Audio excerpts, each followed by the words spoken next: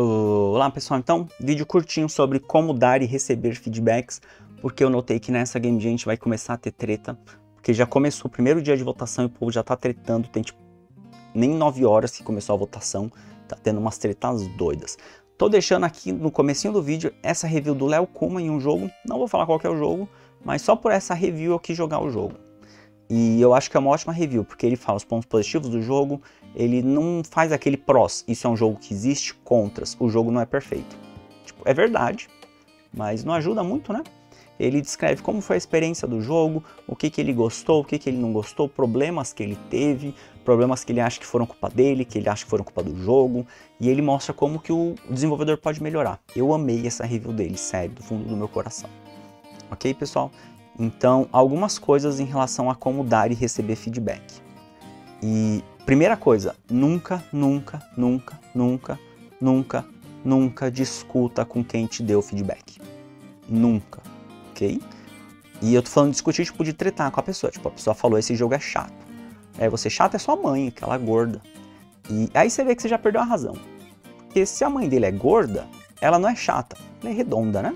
E a gente sabe que chata é a superfície da Terra, que é plana.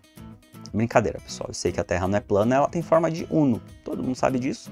E se você não sabe disso, você é um ignorante. Eu não vou perder meu tempo discutindo com você.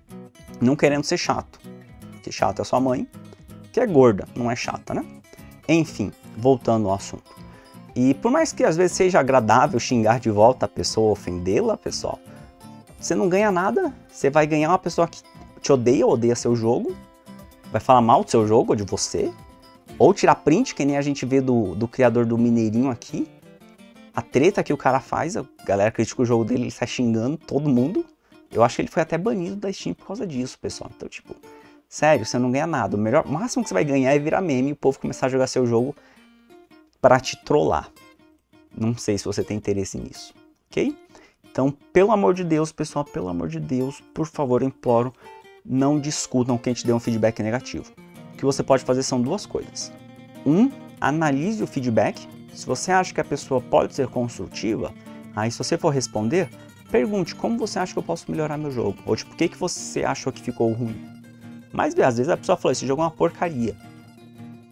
O que, que você pode tirar de construtivo aí? Eu acho que não tem muito, né? Então, nesse caso, eu acho que é mais sensato ignorar. Tipo, deixa pra lá, sabe? Deixa a pessoa na dela. Você não ganha nada discutindo, perdendo. Você perde seu tempo, é só isso que você tá perdendo, ok?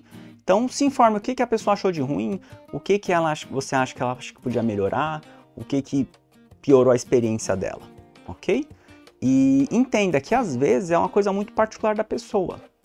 Às vezes, eu, por exemplo, eu gosto de jogos rápidos que você não perde muito tempo. Então eu tenho uma predileção por esse tipo de jogo e para mim jogos mais morosos, que você tem que pensar mais e demorar um pouquinho mais para jogar, me cansam. Então, para mim esse tipo de jogo é ruim. Não quer dizer que eles são ruins. Quer dizer que para mim não serve. Na maioria, às vezes tem alguns que eu gosto. OK? Então, às vezes a crítica da pessoa é uma coisa muito pessoal dela. O que não quer dizer que é uma crítica válida, porque você tem uma noção do que é o gosto desse público. Mas de repente não é o público focal que você está fazendo no seu jogo. Lembrando, a gente está fazendo uma game jam, então você vai ter todo mundo, todo tipo de gosto. Faz parte, acontece, ok? Não perca seu tempo discutindo, analise da onde que está vindo aquele feedback, se ele vale a pena para você, se vale a pena conversar, dialogar um pouco com a pessoa sobre isso, senão não perde seu tempo, tá bom? E lembre-se, nem todo feedback negativo é necessariamente ruim. Às vezes a pessoa criticou pontos válidos do seu jogo. E aí você pode analisar, ok, como que eu posso melhorar meu jogo com base nisso? Às vezes a pessoa faz uma crítica super horrível do seu jogo, mas ela vai pontuando quais são os problemas, o que, que você pode fazer para melhorar, e isso é ótimo, porque você pode melhorar o seu jogo ou quando você for fazer outro jogo no futuro, fazer ele melhor, ok? E de novo, e agora, pessoal, quando você for dar feedback, pense nisso. Que tipo de feedback você gostaria de receber? Dê o tipo de feedback que você gostaria de receber. Então, eu colocar aqui tipo Pro. Isso é um jogo que existe. Contra o jogo não é perfeito.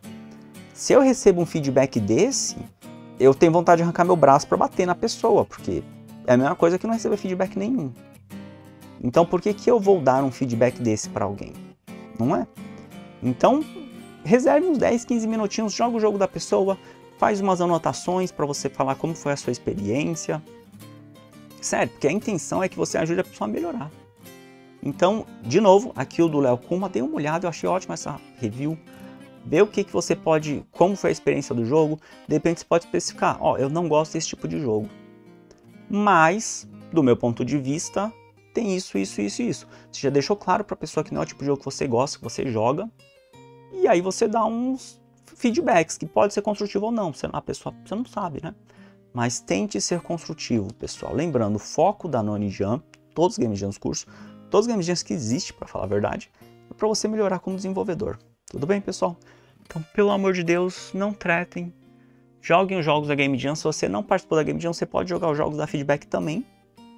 Então façam isso. E é isso aí. Até mais, pessoal.